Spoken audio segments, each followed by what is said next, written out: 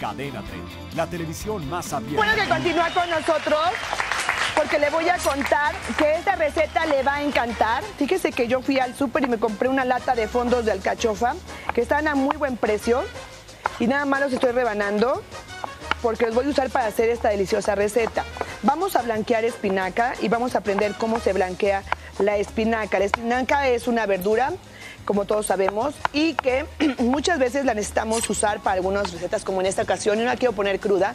Entonces me están pidiendo que la blanquee. Blanquear significa poner un ingrediente, una verdura, en agua hirviendo, y dependiendo de la, de la consistencia, de la turgencia de la verdura, es el tiempo en que tiene que estar en el punto de ebullición del agua.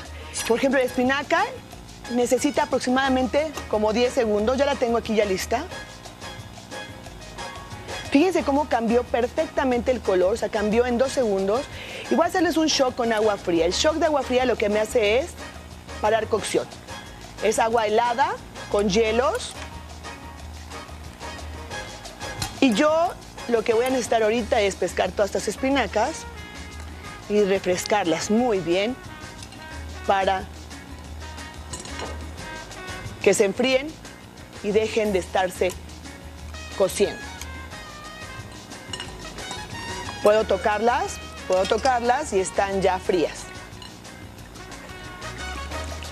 Voy a recuperar esas que tengo aquí y mire lo que voy a hacer. Voy a exprimirlas perfectamente y de todo el bonche que tenía yo de espinacas, miren nada más lo que quedó. O sea, tenía yo el bowl lleno y cuánto mermaron, ¿verdad? Pero es lo que necesitamos. Ya que las hice como taquito, vamos a picarlas.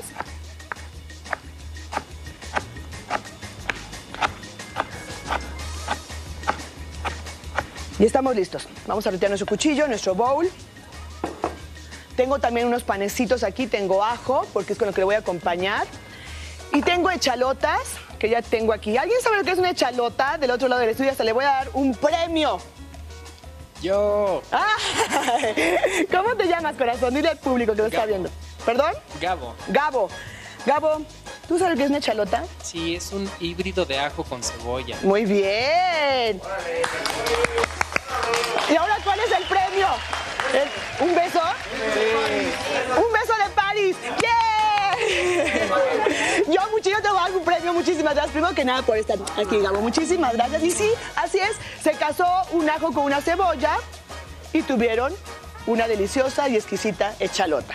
En la echalota su sabor realmente es mucho más suave, es un, es un sabor como entre ajo y cebolla, porque pues, eso viene, pero el sabor es muy exquisito. Voy a agregar crema, vamos a agregar crema. Necesitamos tener toda esta crema aquí, así. Le voy a escarbar muy bien. Vamos a agregar.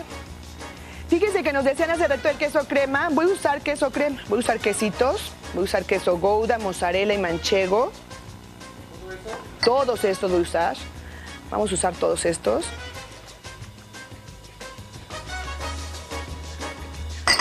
Vamos a usar mozzarella. Estoy haciendo como un tipo queso fundido. Y le voy a pedir a cabina, digo a cabina, a cocina, que me regale más crema por ahí, por favor.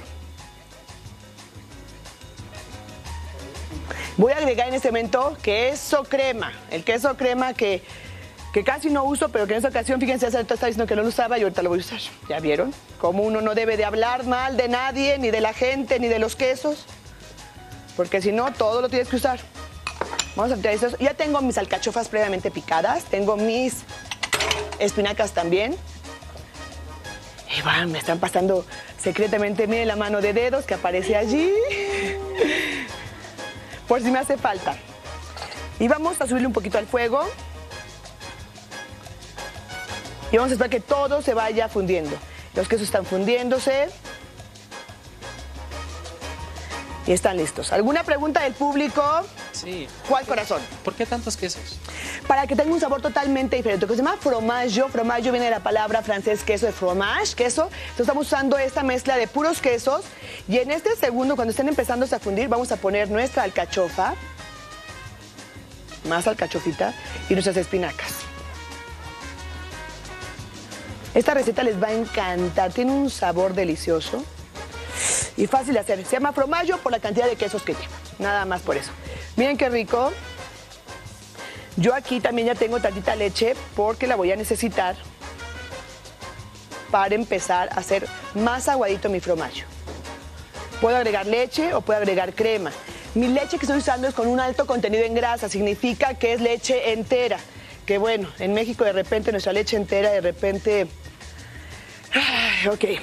Qué bueno que interpretaron mi silencio, mi gente de aquí, porque si puedo agregar tanta crema, creo que me hace falta, siento que me hace falta crema. Es una receta salada, puedo ir agregando más ingredientes y les va a encantar, ahorita lo van a probar. Y este, esta botanita la voy a acompañar, mientras que esto se está deshaciendo, voy a subirle más el fuego porque no estoy viendo que esté apurándose, estaba haciendo el fuego medio bajo.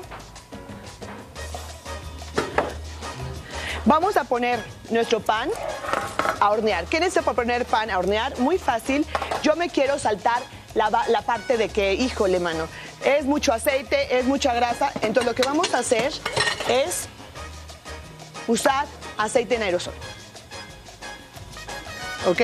Vamos a poner aceite. Vamos a poner tantita, tantita sal. Sal de grano. Como Idalí, que no le gusta mucho la sal, ¿verdad? Qué chistoso que no usa mucho sal para cocinar, lo cual es maravilloso. Hay que bajarle a la sal todo lo que podamos. Todo lo que podamos vamos a bajarle porque de verdad si no, la sal no nos va a llevar nada. Suficiente ajo. ¿Quién hizo? que lo, el papitas hizo así. Ah, no, Cristian. Cristian, ¿por qué? Miren qué rico esto está quedando. Ay, bueno. Esto yo creo que es de mis platillos preferidos cuando voy a ese restaurante. No quiero subirle mucho, no le pueden subir mucho porque se quema el queso rapidísimo, ¿eh? Entonces es muy importante que se vea... Ay, se me está haciendo agua la boca. Está buenísimo. Y nuevamente le voy a poner tanto aceite. ¿Ah, sí? Sí, para que el ajo no se dore de más. Entonces es muy importante. Se ve al horno. Y yo, por supuesto, ya tengo unos listos aquí. Vamos a recoger todo el tiradero que tenemos, limpiamos. Nuestra mesa siempre tiene que estar limpia, donde trabajamos siempre tiene que estar perfectamente bien limpia. Tenemos que tener bajo el control de nuestra cocina perfecto. Miren nada más. Ah. ¿Quieres? Venga, ven a probarlo. Nada más para que veas que te quiero muchísimo. ¿Tu micro?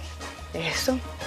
Mira, para que lo vayas probando y tú me vayas dando el punto de vista, por favor, mientras que empiezo a, ver si no le hace falta más. Sí, así, así, así, así como pruebas tú en tu casa, prueba aquí, estás en tu casa. A ver cómo nos va. En mi casa prueba con la cuchara grande. Ah, ok.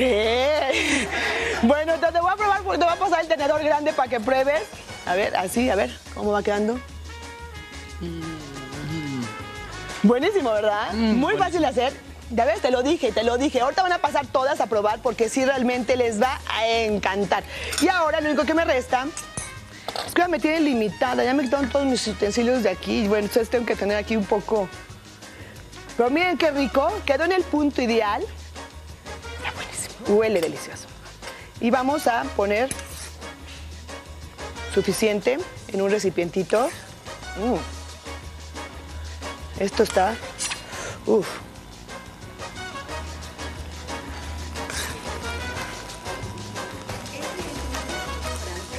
Este es un platillo inventado para un restaurante italiano, corazón. De un restaurante italiano lo saqué. ¿Verdad? De restaurante italiano, exactamente. Híjole.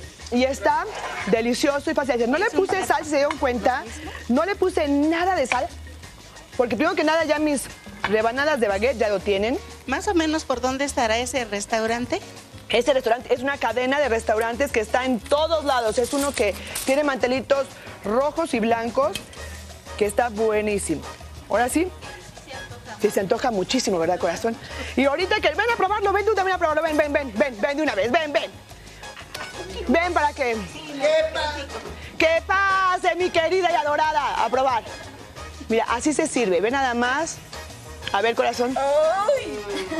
Ay, ay, ay, ay, A ver si te gusta y le digas al público si está bueno o no está bueno.